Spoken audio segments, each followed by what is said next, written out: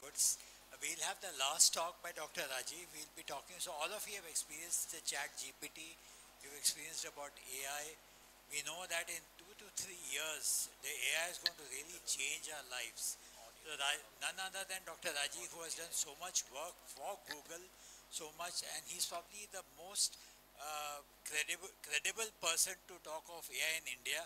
He's done a huge amount of work, a lot of publications. So he'll be talking to us on AI and diabetic retinopathy, current status and future prospects. Thank you. Uh, thank you, Ajay. And this is the last talk of this symposium. I hope everybody has really enjoyed. And last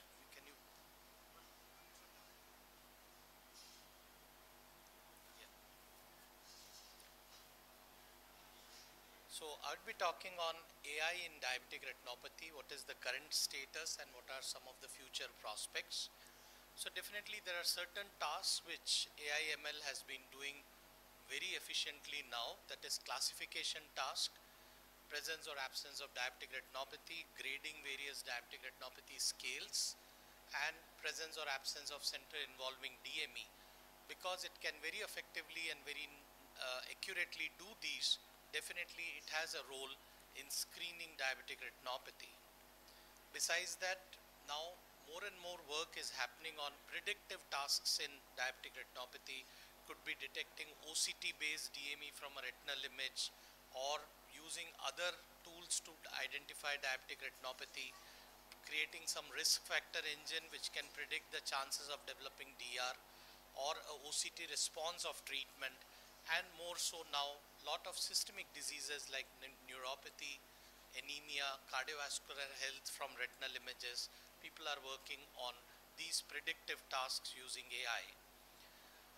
All India Ophthalmological Society and Vitreoretinal Society of India came out with these screening guidelines last year and it has included AI for diabetic retinopathy screening and as we don't have any legal framework it's also empirical that the ophthalmologist grades all the images which are called as referable by AI and also 10% of normal images should be graded by a human grader. Very happy to share that very recently, uh, last month, we have another guideline coming out from VRSI and RSSDI. These are the guidelines for physicians. So even we have now physician guidelines for using AI for diabetic retinopathy. There are certain landmark studies and the first one was in 2016 led by Google where Sankara Nethralaya we were part and Aravinda Institute was part. It was the first work which used the deep learning for DR screening, more than 128,000 images and it could detect sight-threatening retinopathy, referable retinopathy with a good accuracy. The very next year came a nice paper from Singapore National Eye Center and that not only identified DR but also other diseases uh, in the eye. But between 2016 and 2024, there have been major changes in AI. We have better deep learning models. We have some technology called as transfer learning, making sure that we really don't need these lakhs of images to train an algorithm. Even with a smaller number of images, algorithm can be trained. And more recently, we have now generative AI coming up, which has really transformed the way AI has been looking today. This was one of the paper where we were part. This was this came uh, just a couple of months back, where we can. This was actually a work done by Professor Tien Wong, and uh, the Indian data set was used also in this to look into can we predict the time of progression for diabetic retinopathy and we were part of it and we could very accurately even find out that what happens to a person in four years. Generative AI has actually an encoder and generative AI, all of you must be aware about the ChatGPT, uh, Dr. Ajay told, so these are called as foundation models. It has a decoder and it has multiple possibilities. It can be used for diagnosis, question answers, we all use it. it can summarize, it can also analyze the image, it can be used as a predictive modeling. So a lot of scope is there. And the first ophthalmology specific, so ChatGPT is not a, a, a ophthalmology foundation model. The first foundation model was by Dr. Pearse Keane Group, who made this uh, uh, nice foundation model, and many of the publications today are using this as a base for generative AI in ophthalmology. Uh, we have heard from Dr. Ajay the first talk. There are a lot of challenges in implementing AI for diabetic retinopathy screening in India. We have so many diabetics and each one of them having annual eye retinal evaluation is a big challenge. It is a task next to impossible. We don't have so many cameras, we don't have so many people take the image. And definitely there can be possible solution. Can we screen high risk individual only? Or can we identify high and low risk of progression and then probably customize their follow-ups? So let's see the first one, how AI has helped in screening high-risk individuals for presence of DR. So what we did, we tried looking at all the population-based studies from India. So we looked into uh, the uh, Sankara Nethralaya study, the Aravind Eye Institute, the LVP study, and uh, the Mohan Diabetes study. We took the raw data from all of these studies and created a risk factor engine. We used something called as Shapley methods, which is more used for gaming. And we identified the top nine risk factors for diabetic retinopathy and then made an AI model which was reasonably accurate decision tree giving an accuracy of 0.8 AUC to detect presence of DR. That means without a retinal image using these risk factors we can probably reduce the number of patients who will undergo a retinal photography. We also tried using ChatGPT to do this chat uh, risk assessment very small pilot study, not a very encouraging result because it's not meant for ophthalmology, but it could predict the risk of DR based on clinical and biochemical factors. The second is can we identify the people who are at high and low risk of progression so that we can customize the follow-ups. And this was the paper which came in Nature Medicine two months back. And it was pretty different from our JAMA paper in 2016 and then the SERI paper which came in 2017 used much better uh, AI algorithms, used transfer learning, online models and had a real-time feedback.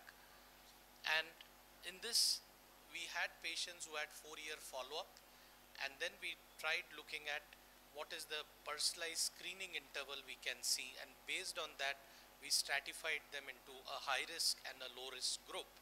And these are the AUCs across all the uh, external data sets and it could sh it showed very high accuracy in detecting the risk of progression and how much it will progress. So basically it also was combined with a, a, a, GPT model which could also give a report suggesting that what is the possible way this patient has to be managed. So when we used on the Indian data set, we could reduce, so here the average screening interval, we tell patients they need a yearly checkup, but when we found, use that the average screening interval of 31 months, we could extend maximum. That means a patient we can say no need to come for next two years or more than two years.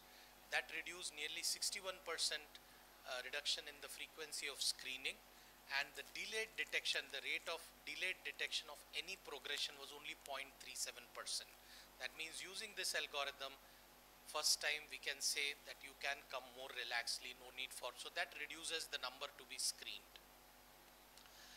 It's a double-edged sword, so definitely there are a lot of limitations of using AI.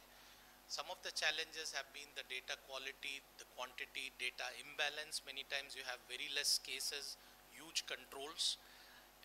The interpretability and explainability has solved, been solved to some extent using the heat maps and definitely the computational cost.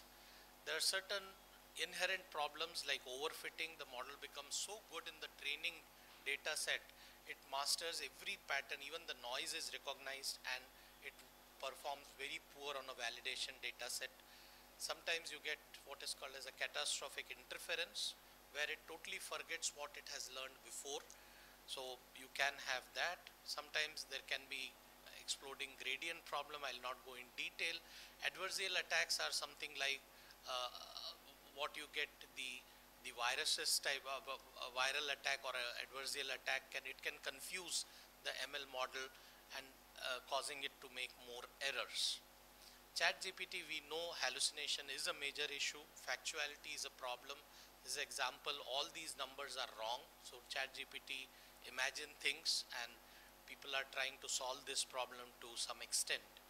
Besides that, data security, we have seen hallucination, ethics, bias, and the training data set and IP issues are always there because you use so many different diverse data sets that is a, in, uh, a problem which is always there.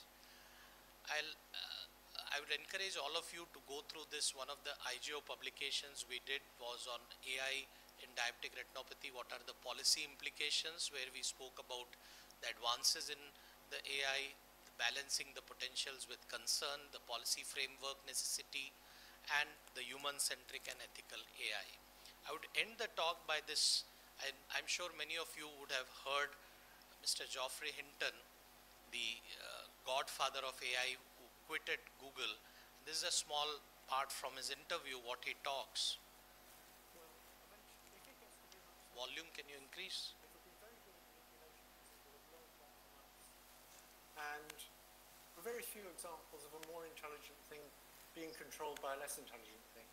And it knows how to program, so it'll figure out ways of getting around um, restrictions we put on it. It'll figure out ways of manipulating people to do what it wants. And I want to sort of blow the whistle and say we should worry seriously about how we stop these things getting control over us. Um, and it's going to be very hard, and I don't have the solutions. I wish I did. So definitely AI is a tool which all of us are using now. It is already there. It's not something for future. Lot of new prospects, new things are coming which will help us uh, treat our patients better. However, what Dr. Mr. Geoffrey Hinton told, we need to be aware about that is technology becoming smarter than us is something we need to really think about. Well, It's not going next slide. Thank you very much. I'd like to uh, encourage all of you to come for the sixth Retina Summit on ROP.